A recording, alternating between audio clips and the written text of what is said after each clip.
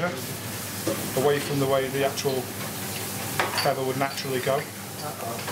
Short, sharp little bursts. Yeah, don't try and take too many at once, so you'll just rip it. And we'll just put this back. Start from the neck, work our way down. Just like, just tell me um, uh, uh, the resistance that you're feeling in terms of endangering the skin.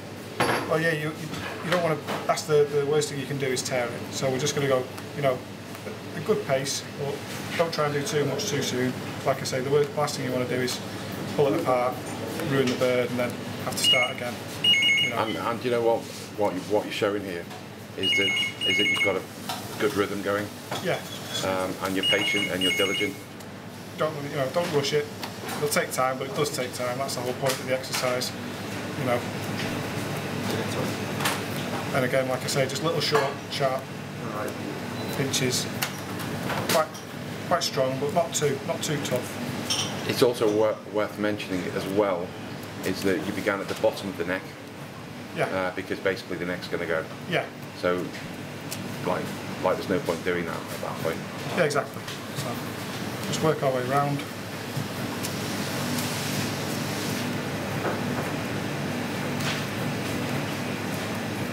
Yeah. Some small mercy.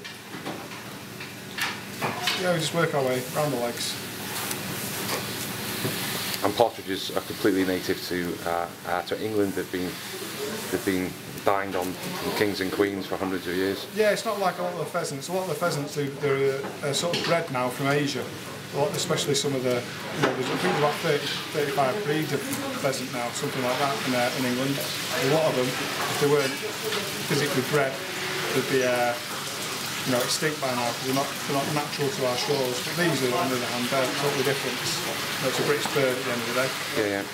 It's also important to remember that whilst this is a demonstration for training, this is a job that would offer to out to commis, which is the importance of this film, isn't it? Well, yeah, exactly. You know, it's, it's, a, it's a good lesson on, uh, on how we're going to do it. Franny? Yeah, yeah. Caught you there before, if I'm honest. Sorry, No. I didn't. I didn't quite pick up the first letter. Sorry, what was that? What? Doesn't matter. Yeah, so we just work from the neck to to your body. So against the natural grain of the feathers. Short little sharp bursts. And just like tell me that we like we shouldn't be expecting a bird that's as high as a kite in terms of aroma, should we? No, no, no, no. It should be, you know, fresh. Again, it's similar to fish. It's, going to have a little bit of a uh, bit of an odour to it. And you can mature birds like you can mature anything really. Hang it for as long as you like. Um, I remember a lad who, where you know where he used to work was always telling me about his old boss and he'd hang his meat until it was green and he'd almost have like maggots crawling around inside the underbelly. Hang it that long. And personally, I don't like that. I think it's a bit much. I think you're going to get too much of a flavour on it. But saying that, he was very popular for his dinner. You know, he never had a complaint from the customers, they all loved it. So you know, it's uh, horses for courses. Really. Whip it off, whip the head off. Yeah, Yeah. make a little slice here.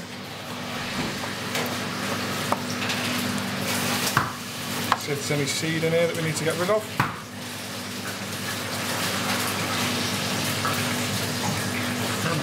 No.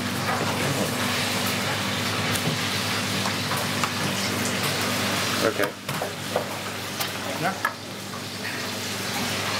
Then uh, I, I'll, I'll get set of gloves.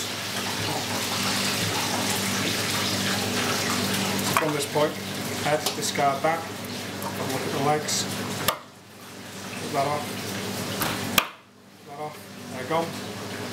Yeah. Now starting to take shapes, looking like the sort of thing that you get in a supermarket or you know wherever from a from a game dealer preferably. Then you know what you're going to get. Take your knife, make a little incision down here, nice and gentle. You don't really want to burst it, just get through the skin. There's a whole sack in here, all the guts, all the innards. Just around here.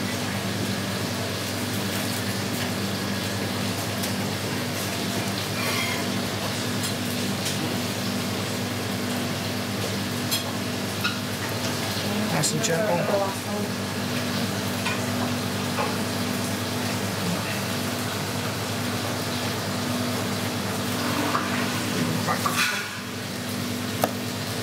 we go. Okay, so it's not the nicest of jobs in the world, but it does need to be done. Just open the cavity ever so slightly, put your fingers in there, and we're just going to pull all this gunk out. Now, you want, you want to try and get everything out in one go. Yeah? Because if not, and you break it, it becomes a bit angry. Pull it. There we go. It's virtually the whole lot.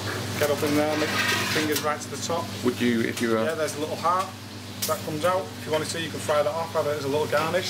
Put that there later. Maybe we use some of the little uh, partridge hearts. Not going to get a better free garnish than that. And do you think like uh, the livers are usable as well? Um, well, you could do. Do you know what I mean?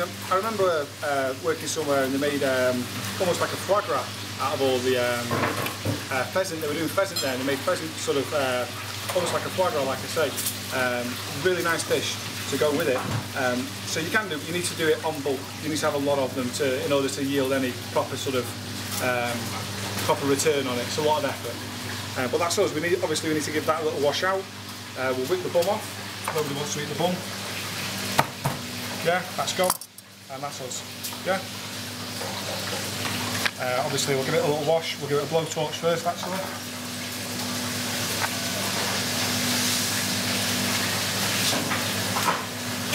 Blowtorch there. And then we go back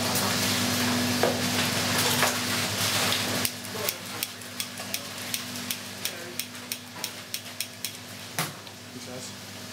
Oh.